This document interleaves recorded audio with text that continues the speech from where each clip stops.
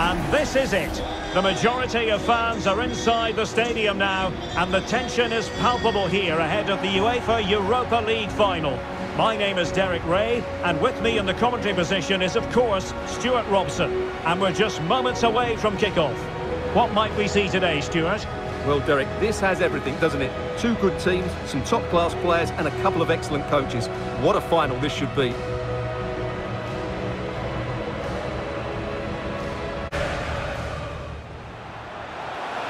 Can he make it count? Oh, must be. And the keeper nowhere to be found, not that he's complaining. And running in behind.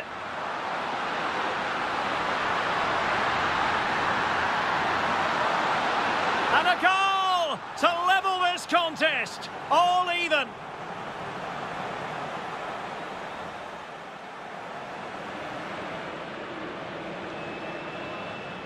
Over it comes.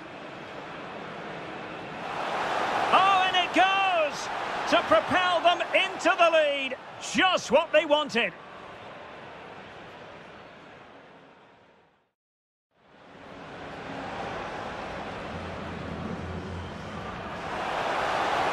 And a fine stop.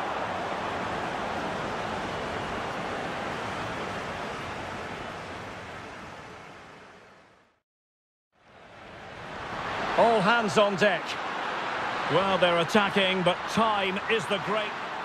Oh, a goal to level us up in the closing stages.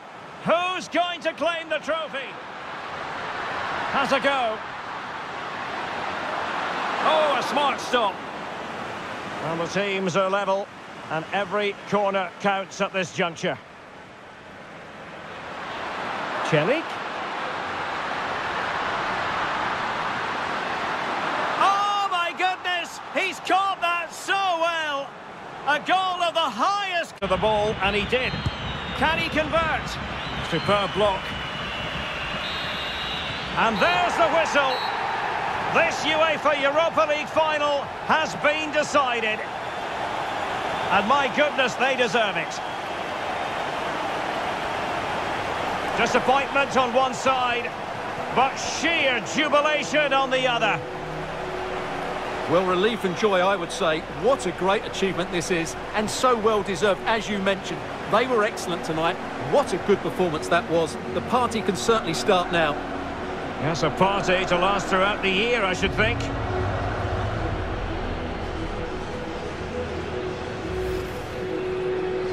They're very happy to be celebrating good times in the Europa League. And now the trophy awaits them. Well, these are always great moments for any player. This is the culmination of a great tournament they've had. They fully deserve this victory. Every player played his part tonight. This is what they've wanted. Now it's in their possession. The winners of the UEFA Europa League. Well, wonderful scenes. The players are making the most of this. It's been a great competition for them. I think they have every intention of making this last as long as possible. One more trophy left, why not? Yes. And now they get to enjoy the moment with the fans who have made the journey here for the final.